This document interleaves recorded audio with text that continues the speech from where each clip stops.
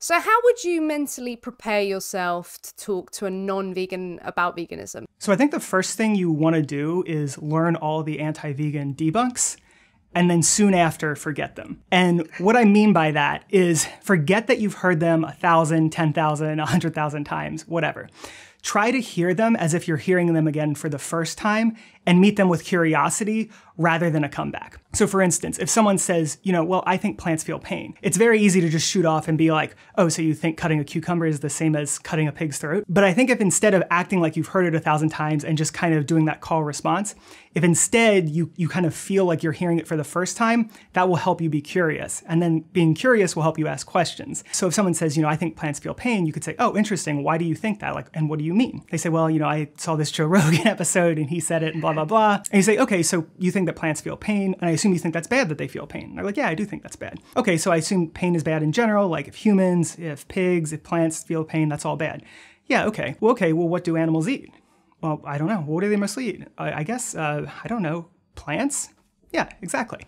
Okay, and then we go from there, right? And so there you sort of led them to the conclusion that even based on their own paradigm of plants feeling pain and them not wanting plants to feel pain, you sort of led them to veganism without kind of just like doing this simple call response thing.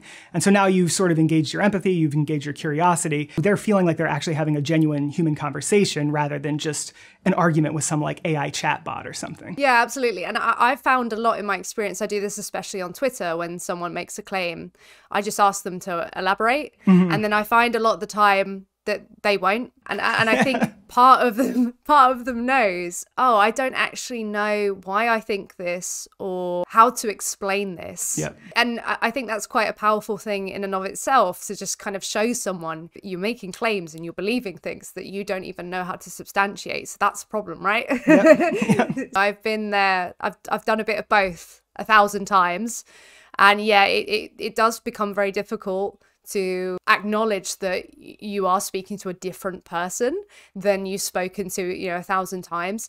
So, yeah, I think that's a good kind of idea to learn them, then forget them. I've found that when I just kind of give the rebuttal and it's ready, I've kind of gone to say the thing before they've even finished. And then it's become like two people talking at each other rather than like maybe getting somewhere and working with the, the cognitive responses. I think there's probably more effectiveness in that as much as I really just want to go really. So in a burning building, you'd look at a pot plant and a dog and you'd be like, oh God, I, I really don't know who to pick. I just want to like gouge my eyes out at that point. However, yeah, I, I think I think you're right. That probably really helped them come to terms with why they believe that and thinking logically about things it extends far past veganism. So it's really important when we have these conversations to be really asking someone where the hell this nonsense came from in a nice way of course. Yeah